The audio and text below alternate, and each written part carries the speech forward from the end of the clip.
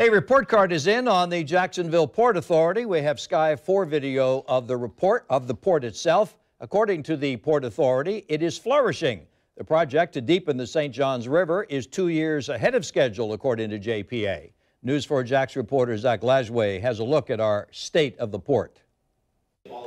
First topic up for discussion at the 2019 State of the Port Address, an update on the dredging of the St. Johns River. We started the deepening in uh, 2017 last year. I mean 2018 last year. According to Jacksonville Port Authority's CEO Eric Green, the project will be completed in 2023, two years ahead of schedule. We've had record years in 2018 and our cruise passengers. Green says that growth trajectory will continue in 2019. Companies have realized that Jacksonville is the place to be, and uh, we expect we expect great, great things in 2019. Jaxport services more than 40 different carriers from all over the world. Some of its key markets are places like Asia, South America, Europe, Africa, and the Caribbean. Asia container volumes at Jaxport have grown almost tenfold in the last decade. Our volumes with Puerto Rico are up 37%. Putting Jacksonville on the map and ranking the River City as one of the nation's top 15 ports.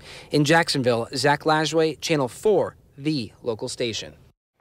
Green tells News 4 Jax we should expect a special announcement on March 4th, the Jaxports board meeting. We will keep you posted.